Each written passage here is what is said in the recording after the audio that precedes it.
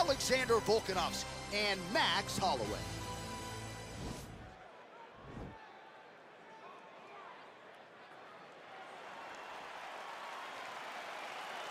You ready? You ready? Well, the tension is palpable as this fight gets underway, and gonna be interesting to see how this matchup plays out. Definite striker on one side against another guy who can really do it all. And in those situations, normally the guy that's more well-rounded will be the one that will find success. I want to see how this plays out. Well, he has certainly found the range and staying pretty... Oh! He needs to start looking. Oh! Wow! Oh, look at that. He leapt up and landed the diving punch to the head. Oh! Oh!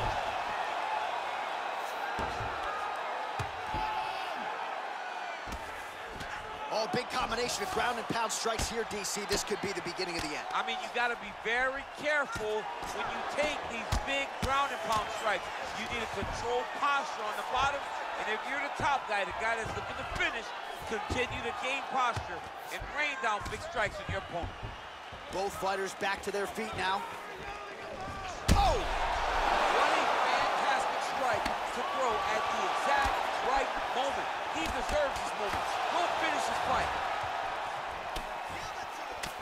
So he's really starting to put together some significant body shots here. These are going to take their toll as this fight goes on.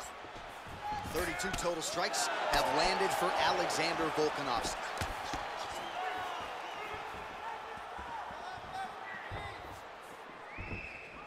Oh, nice job by him there to slip that off.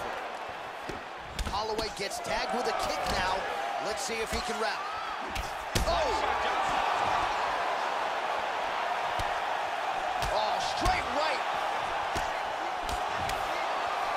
Huge shots there. Whoa! Oh, and that one snapped the head back. The referee has seen enough. Winner by. TKO. He mercifully stopped the fight. A great stoppage and a great performance by this young man.